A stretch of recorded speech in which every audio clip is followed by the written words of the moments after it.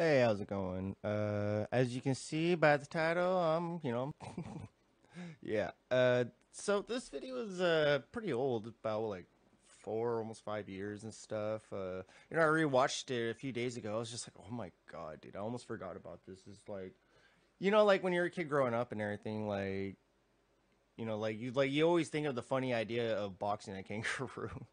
you know, cartoons and shit like that. And you know, this guy really went in and saved his dog. To be honest, it's like, like shit, man. I'm a dog lover, man. I'd I'd probably do the same, man. Like freaking, like you do not touch my dog. Hell, as a as a guy that's a, I'm not even gonna go there, but oh, I'm just. Oh, as you see right here, it's uh, you know, hell, it's old video. If this is the first time you're seeing it, well, let me take you through it.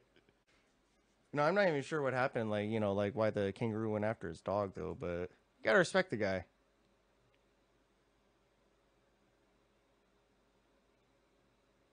So he came up. He's like, "What's up?" He's straight up with Popeye.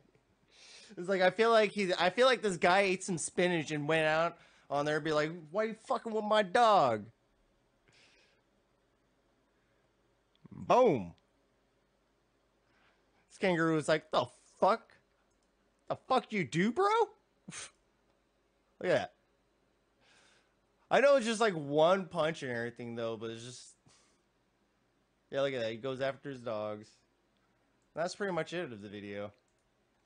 Like I honestly thought it was gonna go there like like I honestly thought it was gonna go a different way. Like you know, maybe something like uh this.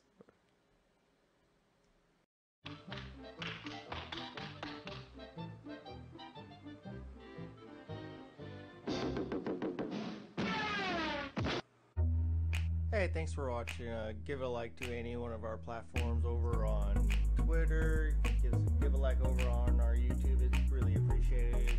And go ahead and watch me over on Stone Samurai TV over on Twitch. Thanks for watching. I really hope you enjoyed it.